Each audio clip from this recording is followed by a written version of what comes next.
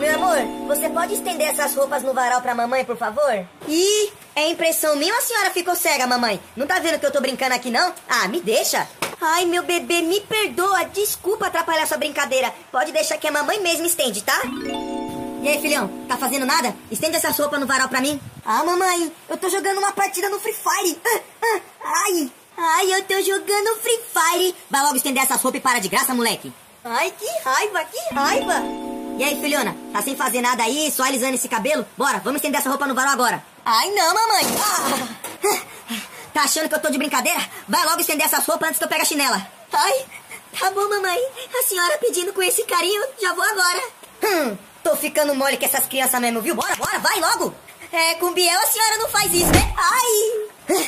Cala a boca e vai logo. Olha o seu tamanho, o menino ainda é um bebê.